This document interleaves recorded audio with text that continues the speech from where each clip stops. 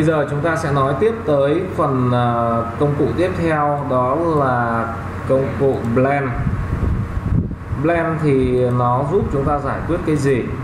Blend thì nó giúp chúng ta là tạo ra một chuỗi các đối tượng hòa trộn giữa trung gian, giữa hai đối tượng gốc giúp chúng ta có một cái chuỗi chuyển cả về hình dáng, kể cả về độ lớn lẫn về màu sắc ví dụ, bây giờ tôi có hai đối tượng, một đối tượng đỏ, một đối tượng vàng, một đối tượng vuông, một đối tượng tròn chẳng hạn. Khi tôi chọn và tôi blend hai đối tượng này, thì tôi sẽ tạo ra một chuỗi trung gian nằm giữa hai cái đối tượng này. Mặc định của chương trình thì bao giờ nó cũng để cho chúng ta khoảng 20 bước trung gian. Ta có thể tăng hay giảm các cái bước này. Và chúng ta sẽ có cái nhìn rõ hơn về các cái chuỗi trung gian này. Nhìn trên này thì các bạn cũng sẽ thấy rất rõ cái chuỗi trung gian này nó là một cái bước trung chuyển dần dần ở hai đầu.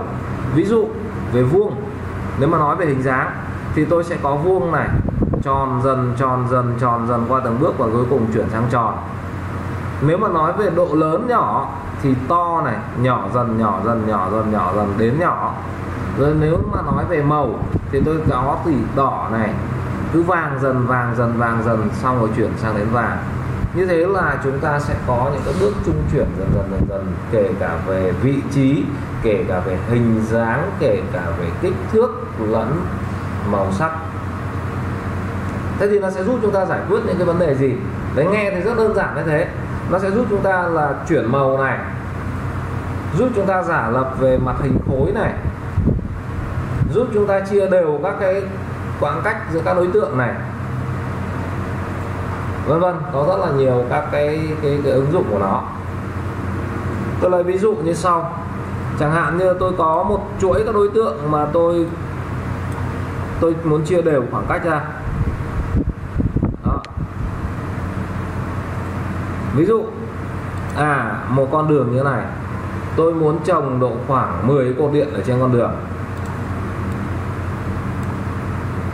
đấy thì thay vì việc là tính tính toán toán như thế nào đấy, mỗi cột phải chia cách cách nhau bao nhiêu xa, thì tôi chả cần, tôi chỉ cần biết là à cột đầu nằm ở đâu. Đó. Cột cuối nằm ở đâu. Thế thôi, tham số thế là đủ.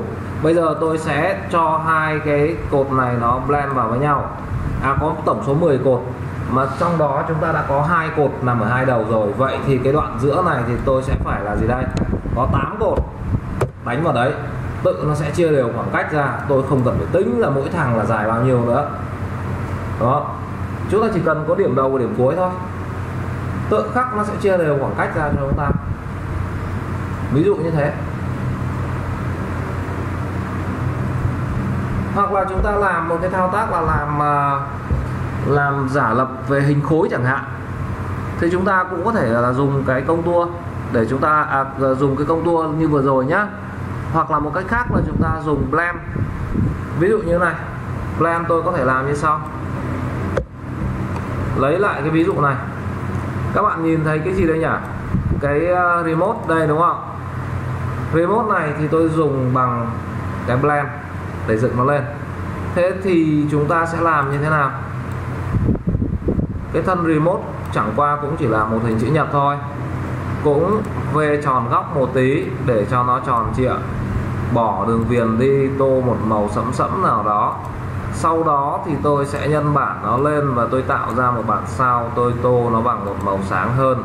Bằng cách là blend hai cái này vào với nhau, tôi sẽ có một chuỗi blend. Và lúc này thì tôi chỉ việc làm cái thao tác là gì đây nhỉ? Xếp đặt cái góc giữa hai cái hình chính, blend chính, điểm cái bắt đầu và cái cuối và một điều rất là hay đó là khi chúng ta làm việc bằng blend, thì những cái khối 3D giả lập này chúng ta xử lý nó rất là nhanh về mặt chiều hướng, đúng không? Tôi có thể cho nó dày hơn một tí, có thể mỏng hơn một tí, nghiêng sang phái nghiêng sang phải, nhìn từ trên xuống hay nhìn từ dưới lên, vân vân.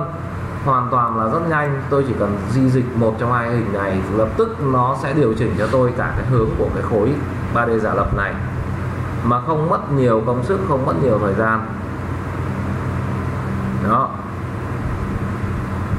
Chúng ta sẽ có được một hình khối giả lập rất nhanh.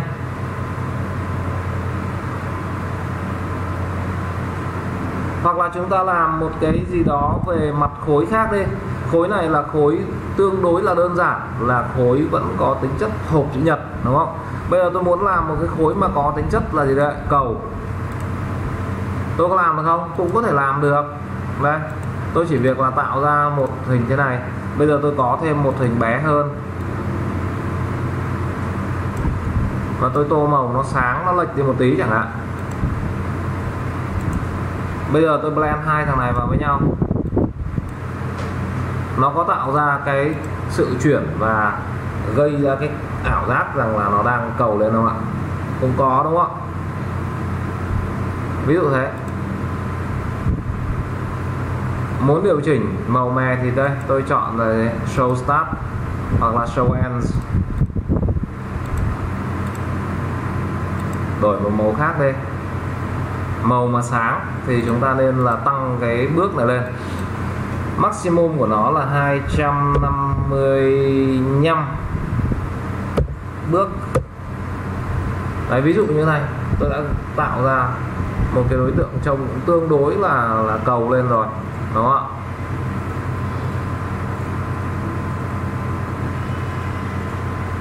còn nhiều vấn đề nữa mà chúng ta cũng có thể làm một cách sáng tạo. Ví dụ như là tôi muốn làm một cái ờ, một cái phông chữ chẳng giống ai, đúng không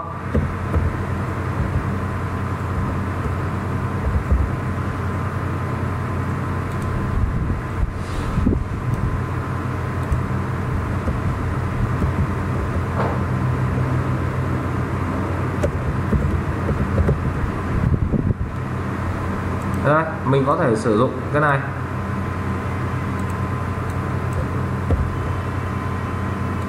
Sau đó thì sử dụng một cái công cụ nào đấy cắt, rách nó ra.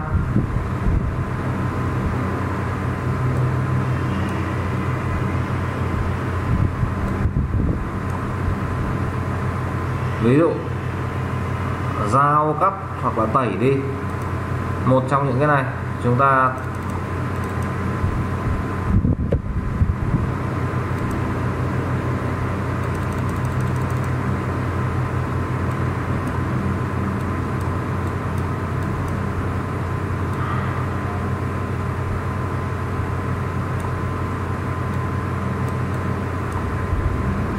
ta xử lý nó ra sau đó thì nhân bản tạo thành một cái bản sao. Cho nó màu khác đi. Đấy, cứ hai cái thằng này blend vào với nhau thì chúng ta sẽ có một cái gì đây nhỉ? Một cái chữ rách nát ra này, ví dụ thế. Mà điều chỉnh cũng rất dễ, đúng không? Cứ chỉ cần là chọn cho tôi một trong hai, một trong hai cái đối tượng gốc thôi còn muốn kéo nghiêng kéo dọc muốn thể hiện nó thế nào ở góc độ nào cũng được. Đấy, rất là nhanh. Để mà chúng ta tạo ra một cái cái, cái một cái chữ mà nó chả có trong cái bộ nào cả. Đấy. ví dụ như thế. Rồi chúng ta tạo ra các hoa văn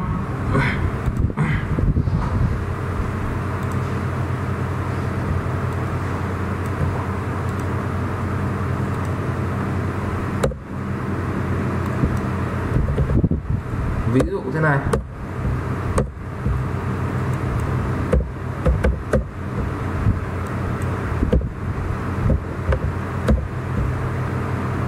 Chẳng hạn tôi chọn hai cái hình như thế này và tôi cho nó blend vào với nhau thì nó sẽ tạo ra cái gì? Một chuỗi hoa văn xoắn xoắn vặn vặn với nhau, đúng không? Hay là một đường khác đi, phức tạp hơn đi.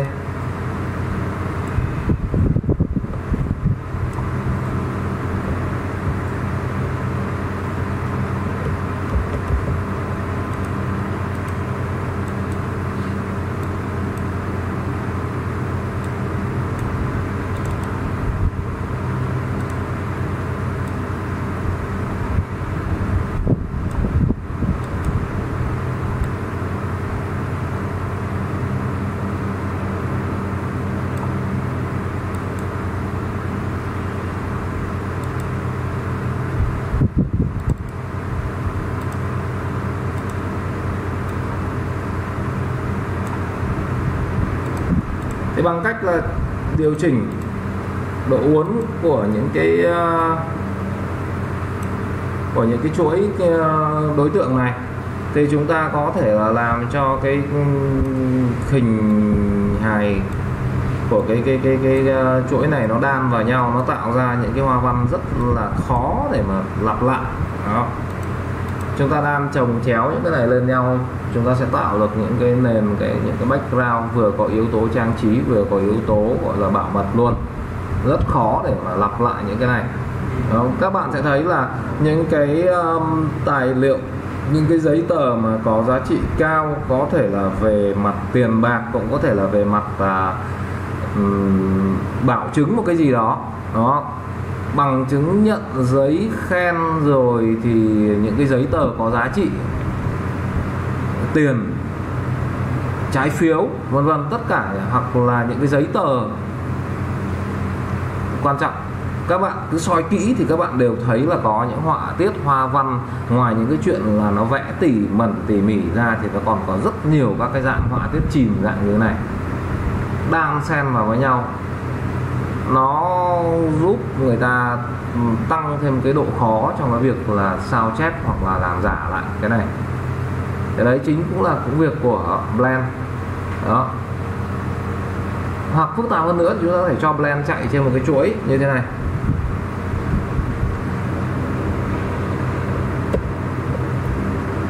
Tôi có một đối tượng.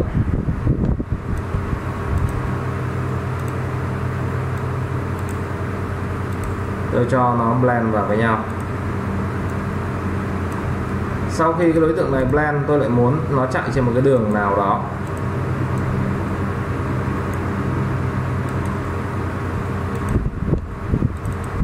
Ví dụ như cái con đường này, tôi chọn này, tôi sẽ sử dụng lệnh path property.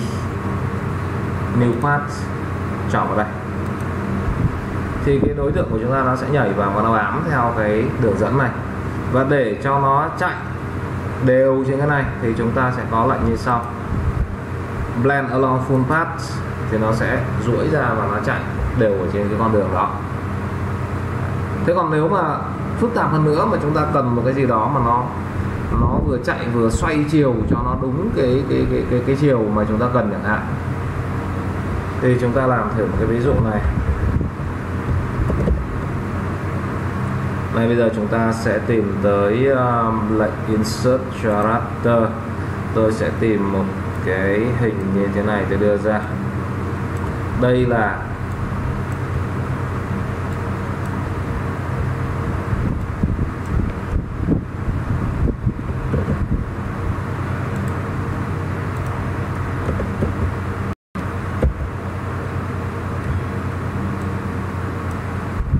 ừ? Cái vấn đề gì thế nhỉ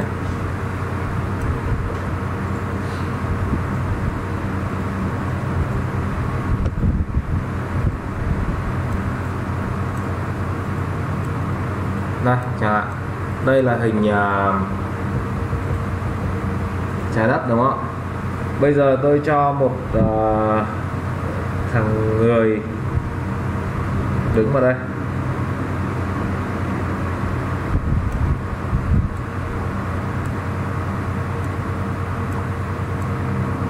Ok. Thằng nó đứng ở trên thì đứng này đúng rồi đúng không? Nếu bây giờ tôi cho nó đứng bao quanh quả đất này thì rõ ràng là nó phải hướng tâm bây giờ tôi tạo ra một chuỗi người này.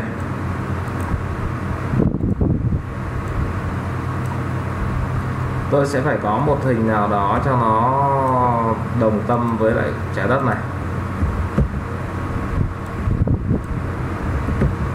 Đó. Sau đó thì tôi mới gán cái thằng này vào blend vào đây. Đấy. thế bây giờ muốn cho nó duỗi đều ra này blend along full path. Thì đây là duỗi đều ra. Nhưng như này không đúng đúng không? Thằng nào chân cũng phải là dẫm lên trái đất, chứ không phải là thằng dẫm thằng đứng trơ lơ ra như này. Thì lúc này chúng ta lại phải sử dụng một cái là rotate on object để làm sao cho nó xoay chiều. Thế và để điều chỉnh thì chúng ta chỉ cần điều chỉnh một trong hai cái thằng gốc thôi. Đấy. Đây là một thằng gốc này khi nào bấm vào mà có được cái điều khiển xung quanh như thế này, thì đấy chính là thằng gốc. Còn nếu mà bấm vào đây mà nó hiện cả chuỗi, thì đấy là chúng ta đang bấm vào blend. Đấy, thì bây giờ tôi chỉ cần bấm vào đây và tôi cho cái thằng này cũng xoay lại, nó vuông góc cái chân vào, thì tất cả chuỗi này nó đều sẽ xoay đều vào nó đứng chân trên mặt đất như thế này. Và cuối cùng thì chúng ta chọn cái đường dẫn này và chúng ta giấu nó đi bằng cách là chuột phải vào đây. Ví dụ như thế Đó thế là chúng ta sẽ tạo ra được cái cái cái những cái hình mà duỗi đều ra trên một cái con đường dẫn. Illustrator cũng có cũng có blend. Nhưng mà Illustrator thì uh, kém hơn blend của Corel rất là nhiều. Uh, Corel nó giúp chúng ta làm được nhiều thứ hơn. Tôi lấy ví dụ như là bình thường ra thì một trong các cái yếu tố gốc mà thay đổi thì cả chuỗi blend này cũng sẽ thay đổi theo. Và trong Illustrator thì nó chỉ chấp nhận là điều chỉnh hai đối tượng gốc mà thôi. Nhưng trong Corel nó lại cho phép chúng ta bẻ gãy một cái chuỗi blend này ra và nó tại điểm bẻ gãy đó, nó sẽ cung cấp cho chúng ta một điểm điều khiển mới. Tôi lấy ví dụ như là tôi chọn như thế này và tôi bẻ gãy một cái đoạn này ra. Chẳng hạn, tôi chọn split. Tôi bấm vào đây. Khi tôi bấm vào đây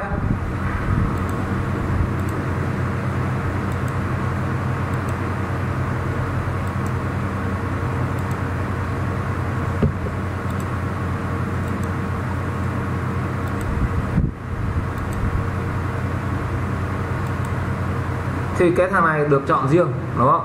Khi thằng này được chọn riêng rồi tôi có quyền làm sao đây ạ? Tô một màu mới vào đây. Và bằng cách tô màu mới vào đây, rõ ràng tôi đã làm cho cái quan hệ của cái chuỗi blend này nó thay đổi đi. Đúng không ạ? Trước đây chỉ có hai màu, vàng và gì đấy ạ? Vàng và đỏ. Nhưng bây giờ tôi thêm được một thằng màu xanh vào đây. Bằng cách này thì tôi đã can thiệp được vào chuỗi blend và tôi làm cho nó tôi làm cho nó trở nên phong phú hơn. Đấy, ví dụ thế. Là chúng ta có thể làm được, can thiệp được nhiều thứ. Hay là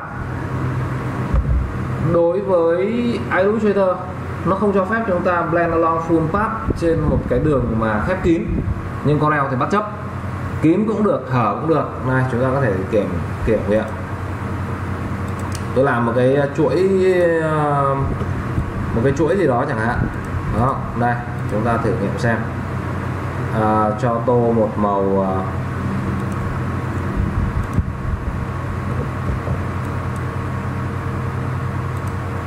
đây ví dụ một màu như thế này đi.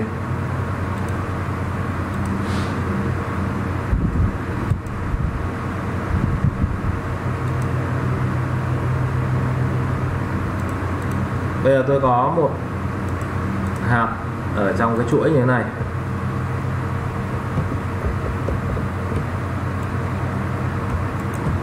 Có thêm một hạt nữa.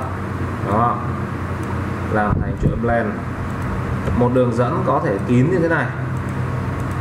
Đấy, chứ không nhất thiết là hở. Hở là thằng Illustrator là kiểu diễn đòi hở thì nó mới nó mới dàn ra. Dàn ra hết từ đầu đến chân. Đấy, nhưng mà Corel thì không. Corel chấp luôn. Đấy, nhảy vào. Trước tiên nhảy vào, còn bây giờ tôi muốn là cho nó dàn ra thì đây, blend along full path tự nó sẽ dàn ra kín luôn. Đúng không? Tôi có thể tạo ra được một cái chuỗi hạt ngay lập tức bằng bằng cái này. Illustrator không làm được vụ này. Illustrator mà cái đường không bị cắt đứt ra thì nó không bao giờ nó dàn dàn hết được ra cả trên đường. Và cái thứ hai nữa là cái Illustrator thì nó lại bị phụ thuộc rất nhiều vào cái độ cong của cái đường dẫn, nó sẽ dắt các cái đối tượng blend ở trên đó. Chỗ cong nhiều, chỗ cong ít, thì nó sẽ làm cho mật độ của các cái đối tượng blend nó phủ trên đấy, nó chỗ thưa, chỗ dày. Nhưng mà Corel thì không thế. Đây, tôi vẽ một cái gì đó rất là gấp như thế này.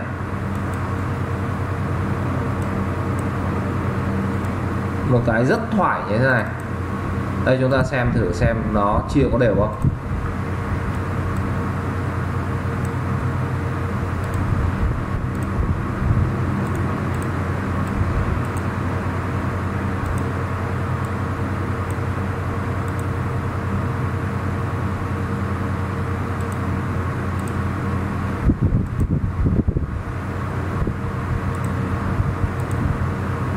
Muốn dày nữa, tăng lên.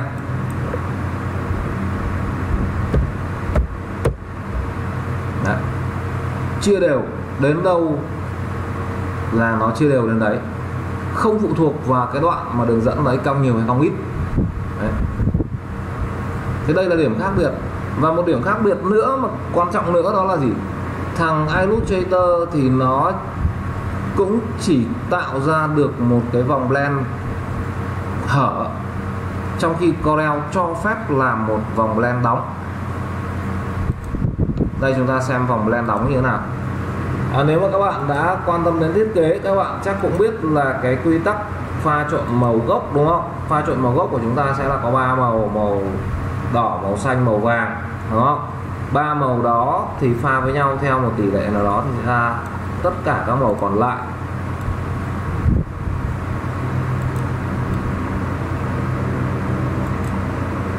ví dụ bây giờ thôi, đây, tôi lấy một đại màu màu đỏ nhé đây, magenta đi. Vàng này. Và xanh này. Đấy, bây giờ nếu mà tôi blend, đây là chuỗi màu. Đỏ đấy. Bây giờ vàng này.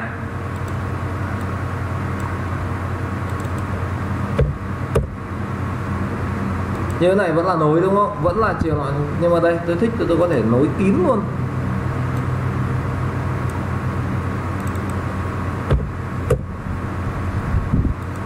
Illustrator không làm được điều này. Illustrator chỉ cho phép là làm một cái blend hở thôi. Đấy. chứ đụng đến blend kín mà lại còn xoay vòng nối đuôi như thế này thì thằng Illustrator khóc, không làm được. Rồi tháo rỡ một blend đang từ cái nọ, nhảy sang liên kết với cái kia. Đây, ví dụ, tôi có tròn này, vuông này,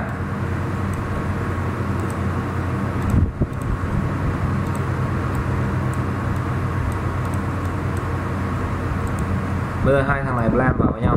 Ok, xong. Bây giờ tôi lại có một thằng sao này.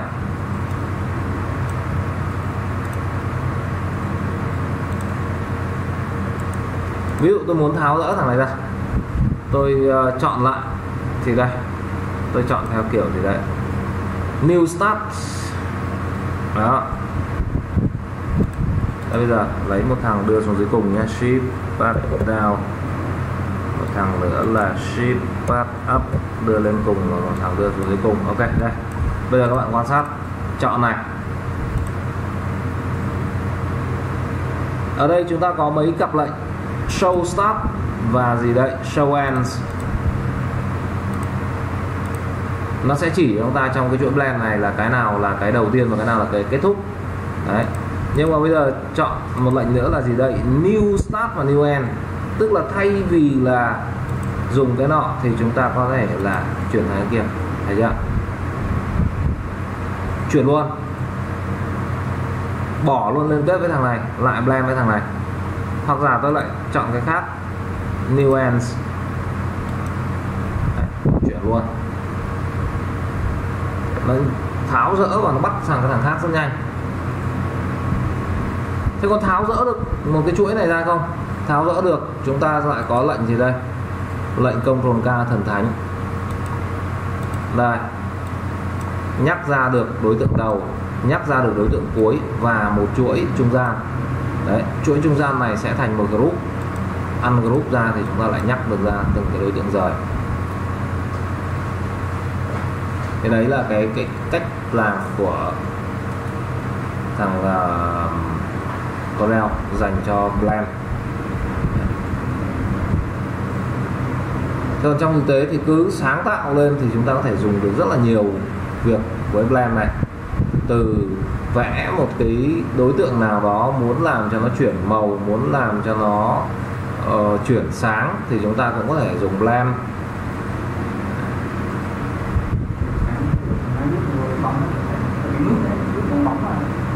Nút bóng bóng à?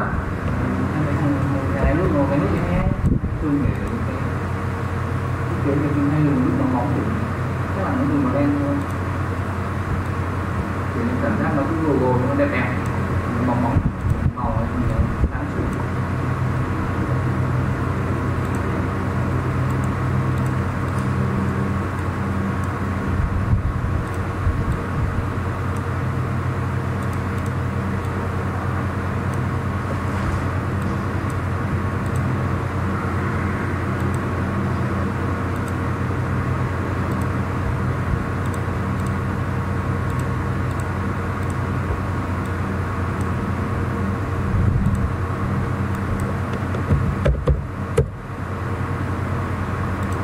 ý bạn nói là cái cái cái cái ờ, giống như cái bài hôm trước mà chúng ta làm cái um, cái bóng đấy gì? Cho đấy rồi nó nước nước xanh nó có cái bóng phủ phía trước mặt mà đưa cài một trăm đất nó bóng ấy. Sáng sáng hiểu cái điểm sáng vô đấy. Thành cô em cái lúc mà cái này có nhìn nó về rất là đẹp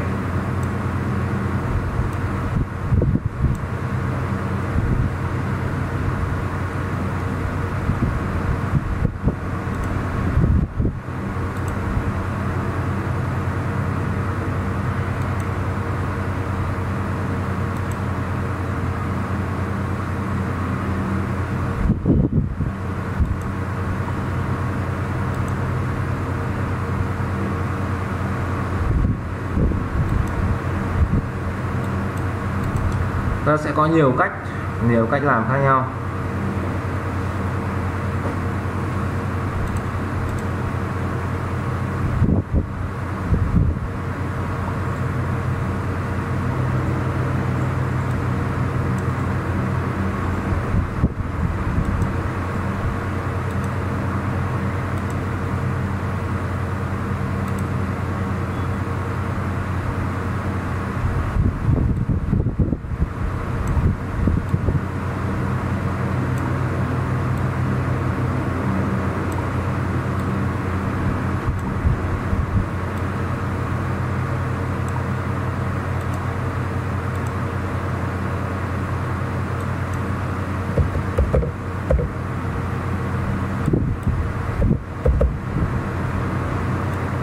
đây ta thử xem xem là làm với cái cách như cũ thì nó như thế nào nhé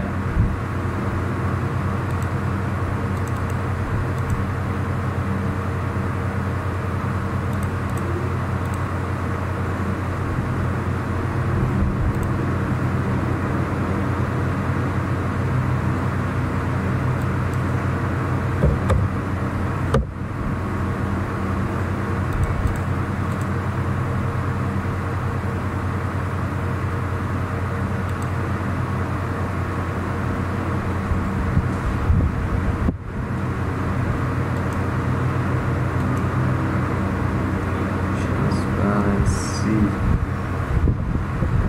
Và không dùng cái này đi Này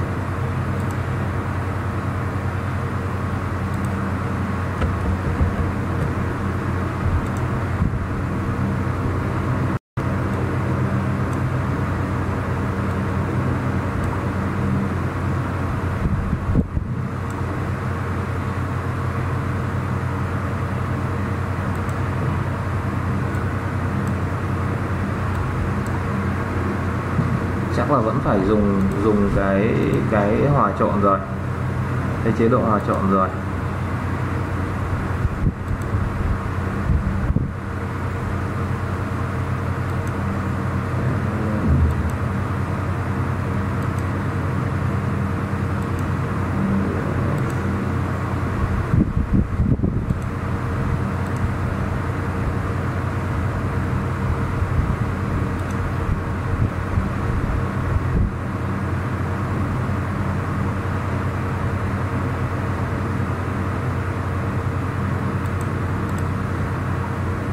Này thì hãy chờ tôi một chút tôi ờ, xem